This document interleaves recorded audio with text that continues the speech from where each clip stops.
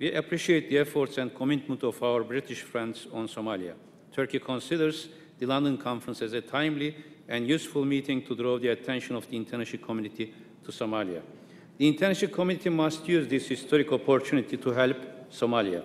The stability and security of Somalia is crucial for the stability of its region as well as the whole continent, since the country is located in the tragic heart of the Horn of Africa and on the international trade route vital for Africa and the world. Turkey will build the Istanbul conference next June, early June, on the outcomes of the London conference.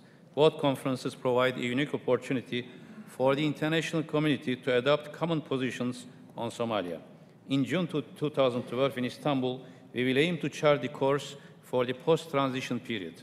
At the end of the day, through the initiatives which will have been taken, we will hope to change the perception that Somalia is a source of threat for its neighbors and the continent.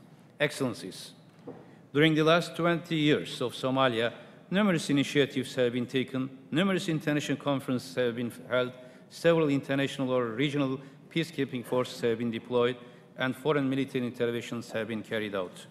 Now it is high time to make a reassessment and to develop an integrated strategy based on three pillars. First, humanitarian assistance, development and reconstruction. Second, improving security and establishing public order. And third, a political process leading an inclusive democratic government. These three pillars are integrated to each other and there is no sequence or prioritization. All of them are supporting each other. We cannot think that first security, then humanitarian development, and or vice versa. All these three pillars should go hand in hand. On humanitarian ground, on the first pillar, as it has been discussed this morning in details in, during the breakfast, there, there is a need of short-term short humanitarian assistance and long-term economic reconstruction development. The first condition is we have to be present and visible on the ground. We cannot have conferences distant from Somalia. All of us, we have to be present there. And here, we, want, we call all participant countries to open embassies. As Turkey, we opened a full-fledged embassy in November, and we are planning to uh, extend the, uh, the functions of our embassy. And there are 12 uh, Turkish humanitarian organizations functioning on the ground. This is psychologically very important to give the impression of normalcy that the things will be getting normalized in Somalia. As uh, Turkey, we will increase this representation and based on our experiences in Afghanistan, PRT, we want to have development agencies in different parts of Somalia. Uh, and uh, we here, we admire recent UN decision to have permanent uh, presence, UN post presence in Somalia, and that's a very important step to show solidarity with the Somalian people. Regarding humanitarian ground, another important issue is transport facilitation. Unfortunately, without having a proper transport infrastructure, there cannot be public order as well. Therefore, there is a need of reconstructing airport and ports, and Turkey, we are now rehabilitating Mogadishu airport, and Turkish Airlines is starting regular flights on 6th of March. I think that is first time there will be regular flights to Mogadishu for maybe two decades. And we will be continuing these regular flights in order to have these transportation facilities more available. The, we are happy that the famine has ended, but we cannot be relaxed. There can be, there uh, could be some new threats this summer as well. Therefore, there is an integrated approach regarding health, food, uh, and agricultural development on the ground, and return of the IDPs and re refugees to their homes. As Turkey, uh, we have allocated 300 million US dollars for all these development assistance and uh, to uh, extend uh, our support uh, to all Somalians wherever they are.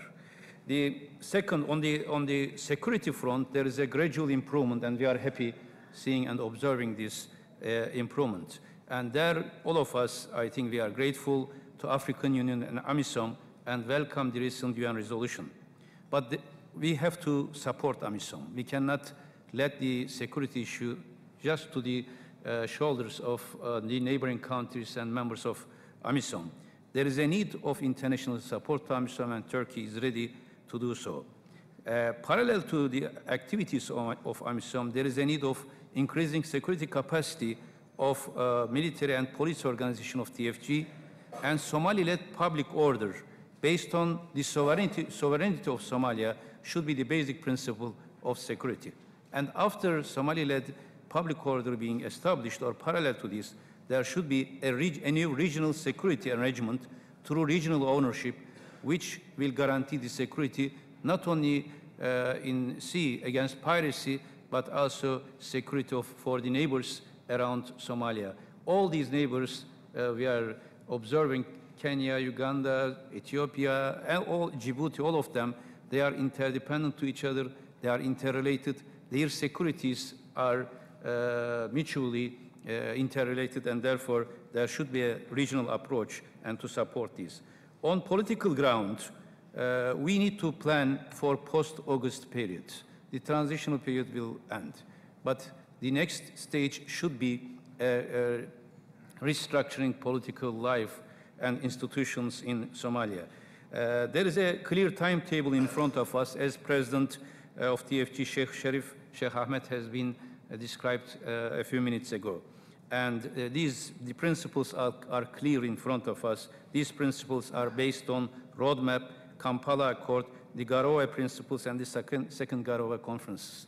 The principles, the mechanisms are there. There should not be new parallel mechanisms. We have to follow that these mechanisms are functioning properly.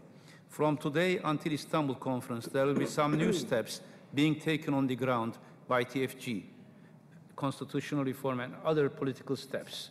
We, will, we, we need to follow up them and we need to help TFG uh, to, to uh, complete the mission in a, in a, in a, in a successful uh, manner. And in order to have this successful political process, there is a need of an inclusive uh, political recon nation reconciliation. All the, all the groups denouncing, denouncing violence and terror should be part of this nation reconciliation. Without nation reconciliation, we cannot have a real political achievement as well as we cannot have a real humanitarian development when there are de facto authorities in different parts of Somalia. Therefore, all the uh, uh, groups of Somalia should be integrated, should be working together hand in hand.